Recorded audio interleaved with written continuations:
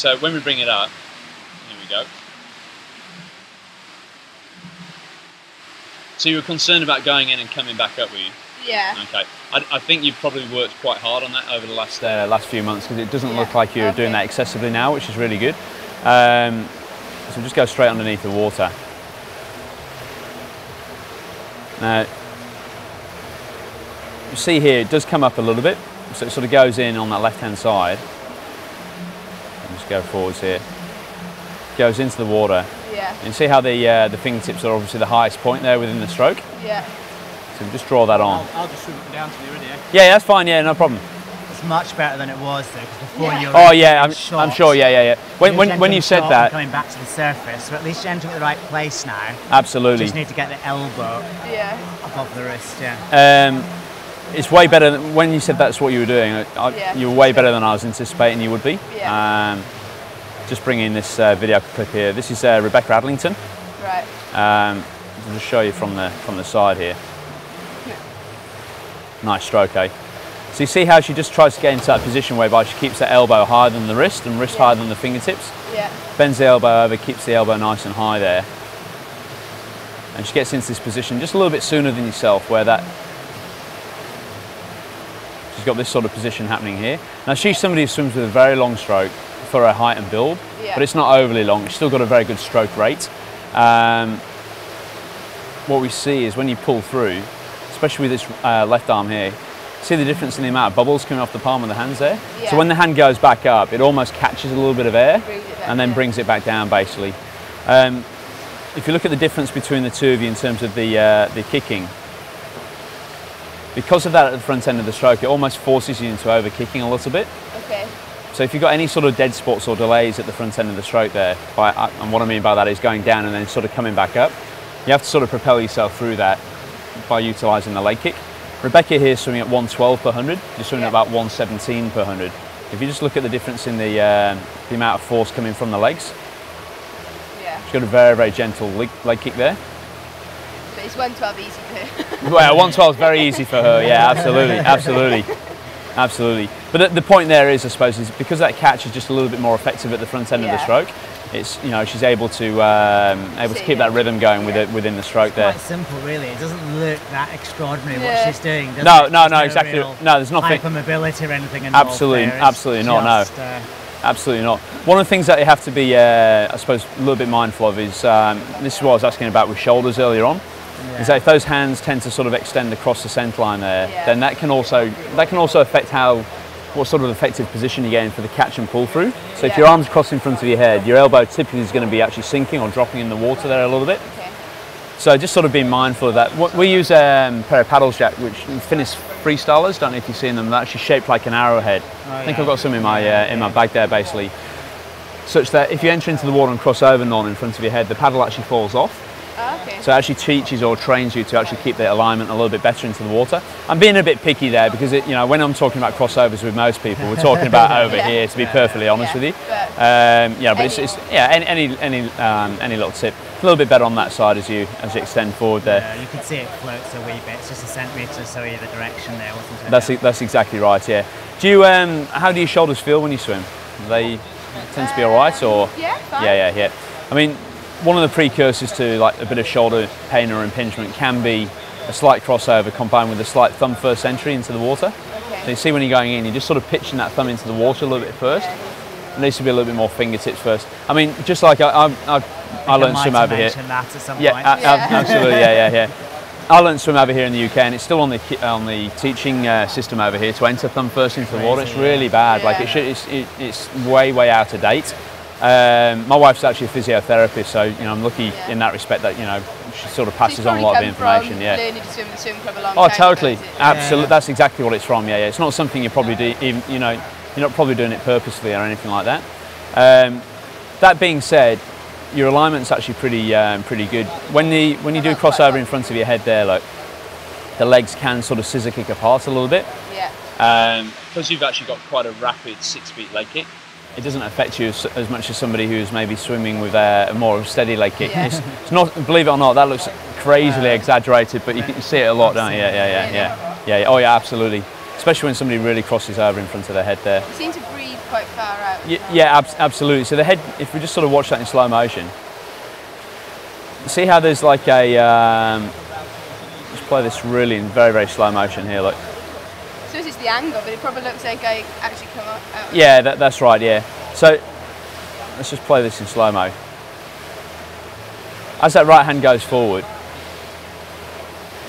the body sort of, or the body should be rotating towards the left here. Okay. So it's sort of extending forward there basically as you're rotating. There's almost like a secondary flick of your head. It's almost like you're turning your head fractionally late to get the breath in. So that's what, what you're seeing is like a flick and a lift. It's basically you just breathing ever so slightly, or turning your head ever so slightly too late. And we're not talking a second too late, we're talking the tiniest fraction of a second too late. So it's maybe just worth, worthwhile thinking that when you go to take a breath in, just almost feel like you're turning your head just a fraction sooner. Can you see how, what I mean there? You're actually getting to full extension and then the head turns sort of, you see that Yeah. Jack? Almost sort of independently. So it's here Yeah. and then it's like a slight flick of the head just a fraction later. One of the best drills to actually work on this, we do it loads over in um, over in Perth, and it's quite a hard drill to actually get right. Is, is what we call it unco over there. It's basically single arm drill with the other arm down by the side. Yeah, yeah, we do that. yeah. So what it's trying to tra- train you to do is trying to get the timing of the head, so the head actually just follows the rotation of the body, as opposed to it being two separate movements. Yeah. So it's a roll. See how the head's not moving really? Yeah. It's actually rolling in line with the body. The, the other difference is here he's keeping his spine completely in neutral. Absolutely, yeah, Whereas yeah. You're, you're doing, it's very common, is, is you lifting Okay. the head. Rather so, than- as opposed to just rotating the whole yeah. system. I haven't got good yeah. rotation. I don't think when I. Especially through, through the through the upper But it's back, just yeah, yeah, that yeah. It's, it's a question of where your chin is relative to your sternum almost as well, isn't it? It So is, you, yeah, you absolutely. did that, Yeah. yeah, as Yeah. opposed to As opposed to almost keeping Yeah. your chin Yeah. towards the shoulder a little bit Get more. it? Yeah. Yeah. Okay. Absolutely. And that's really common though. And, and and the thing is that in open water, Yeah. sometimes you do need You to do do, need to do that. that, Yeah, yeah, yeah. yeah. Especially, yeah, Yeah. absolutely. Absolutely. So it's, but in terms of um, keeping your stroke a bit straighter and maybe sorting out this timing issue, because obviously it just takes a fraction of a second out of the, you know, instead of having to do that, which is a longer loop, you're doing this, it's Yeah. shorter. Might Absolutely. just help you to get the timing into sync. You can take you can take that same drill one stage further. I was telling you about these pointed paddles beforehand. This is the same drill but done with the lead arm with one of the small paddles on. Yeah. So the whole idea is that you know as the hand goes into the water here, the body's rotating, the head rotates with it. But because you've got that small paddle on in front of your head there, it just trains you to get a slightly better feel for the water at the front end of the stroke. You just Yeah. become a little bit more hypersensitive to that feeling of catch at the front end of the stroke. And drive the hips and shoulders down into the water underneath the body there. Let's let's just come back over to here though. We always do a load of those sort of drills. Yeah, yeah, yeah. So over time, maybe you Yeah. know, particularly we did, we did a sort of whole Absolutely. session on them, uh, you know, run of sessions on them, but. So underneath the water here, um, You can see that hand, that right hand Wide. having to. it's very wide. Yeah, yeah, yeah. And So- it's ha- you're having to rotate the. The if, you, if you continue, say, a right hand, so the one Sorry, that's yeah. entering the water now, Yes, yeah. see that it's facing that way. The palm of the in- hand. Yeah, thumb down. And you have to rotate it in order to Yeah. do that, and, and then doing that, your shoulder, your elbow drops. Yeah, yeah, yeah. You sort of see that position there, basically. Yeah. So if you if you worked on getting the fingertips into the water first, that would actually help to correct a lot of that. But if we just go back to um, just go back to uh, where are we? Try and get a slightly slightly square, more square on shot of you.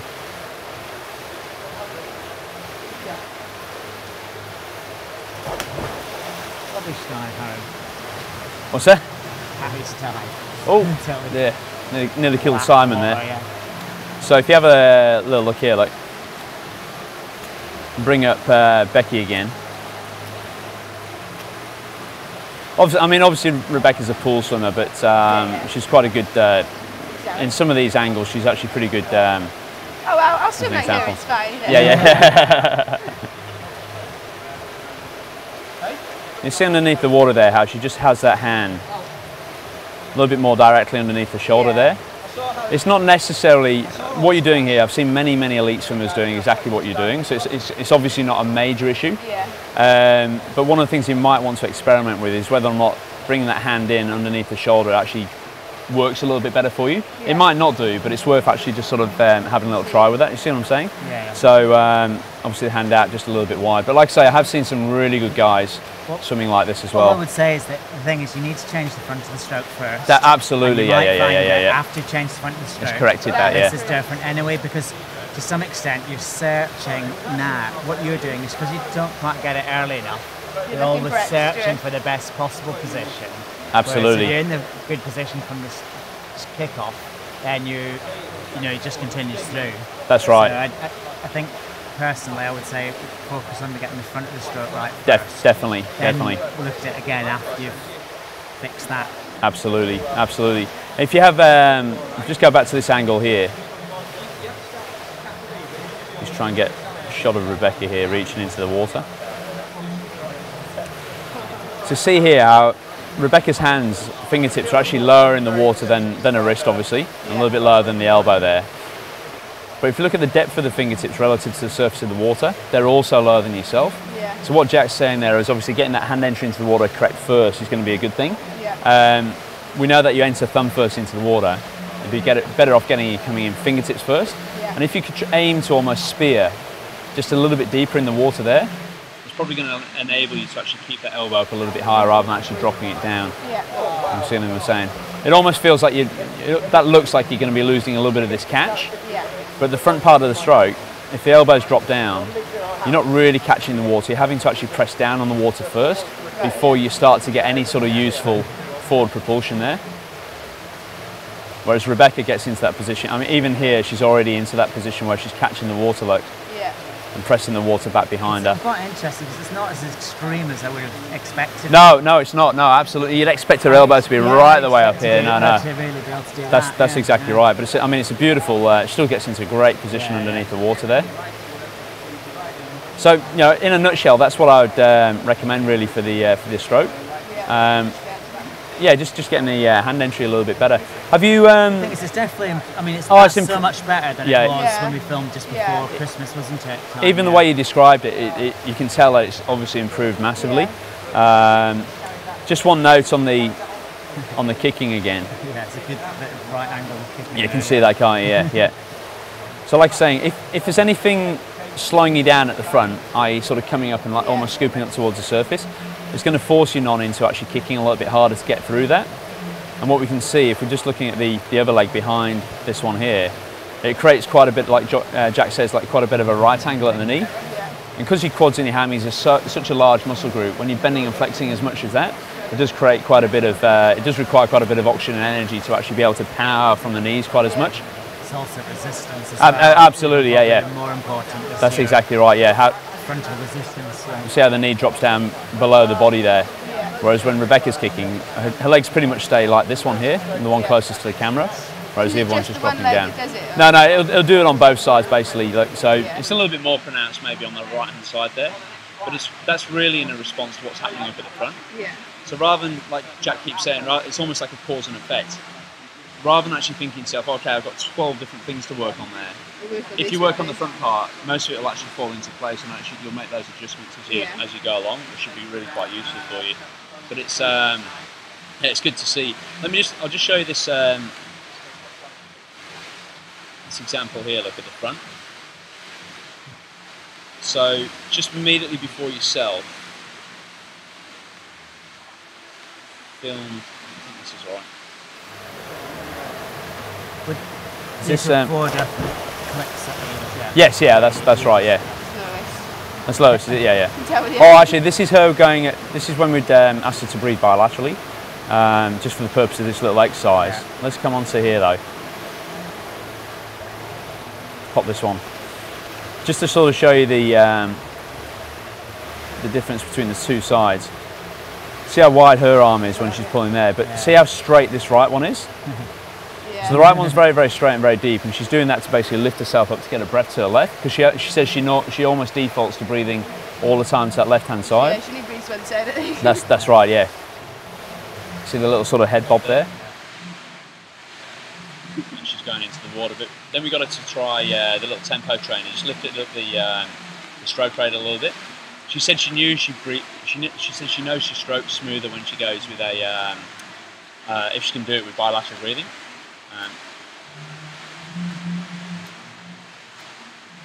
So still out a little bit wide, but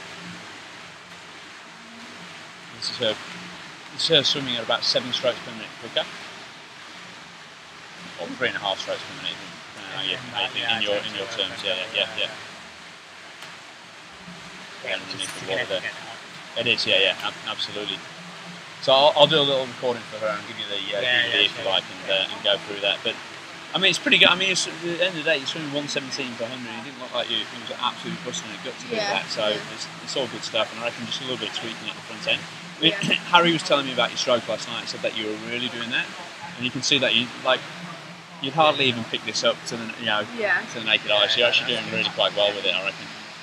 Um, it's looking pretty good. How do you tend to go in the open water relative to? I'm worse open. I think I should swim better open water than I do. Than what you do, yeah, yeah, yeah. Um, It's maybe just a little bit of that, to be honest with you. If, if you have been doing this a lot in the past, it's maybe been just killing your stroke rate a little bit. yeah. So when it gets rough, especially at the start, Yeah. it's almost like you, you know, you're sort of backing against that turbulence a little bit.